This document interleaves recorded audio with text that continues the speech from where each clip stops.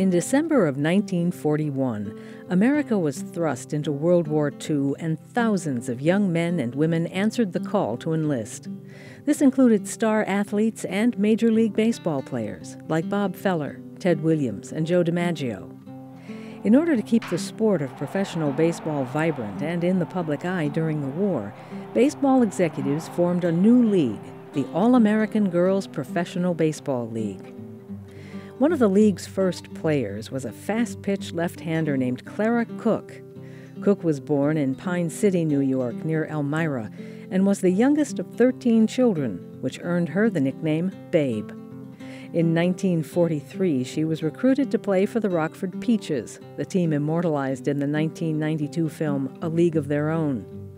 And in 1944, Cook helped the Milwaukee Chicks win the league championship.